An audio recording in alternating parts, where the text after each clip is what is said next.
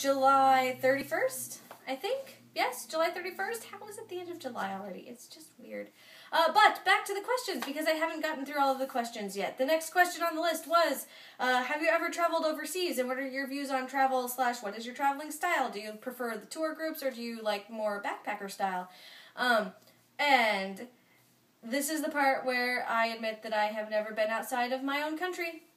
Uh, I have been outside of the continental United States because I lived in both Alaska and in Hawaii as a kid. So I've been to, you know, the, the far flung reaches of the western United States uh, because here's the part where I admit that I haven't ever been to the east coast of the United States. The closest that I have gotten is rural uh, northeastern Texas, which felt like its own country. It really did, and that's not a slight to northeastern rural Texas. It's just that it was, it it was it was a cultural awakening, kind of.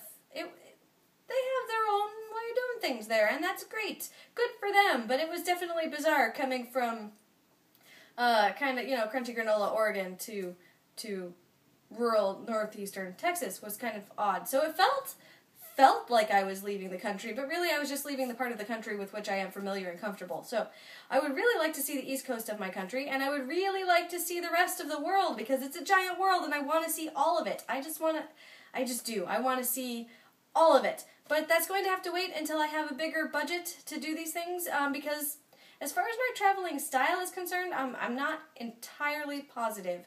Most of the times that I have gone to somewhere, it has been to visit someone who already lived there, so I I you know rarely had to deal with hotels or things like that. It was usually staying with somebody or you know knew somebody in the area who could show us all the stuff to see.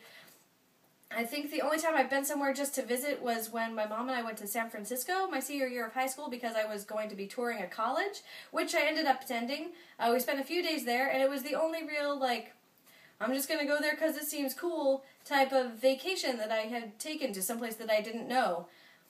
Which now makes me very sad for being an adult and not having that experience. I should have that experience. Um, you know, when I have the budget because I've I've traveled a few ways. I've done the the go stay with family. I've done the driving straight through, only stopping to get gas type traveling, the sleep in the car because you don't want to spring for a hotel room, you know, after 20 hours of driving.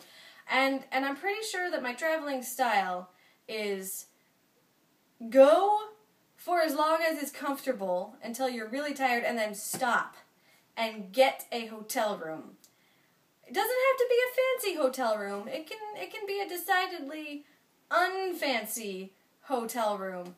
But, you know, a roof and a bed and walls, not the car. I, I have learned that I do not do well sleeping in the car, and I don't like it. So I'm guessing I probably would not have the most fun doing the backpacker thing um, because I require hot running water and and a comfy, comfy mattress. Actually, that's not true. It doesn't have to be all that comfy. It just has to be a mattress with a roof. Um, so there's that. So it'll have to wait till I have the budget for such things.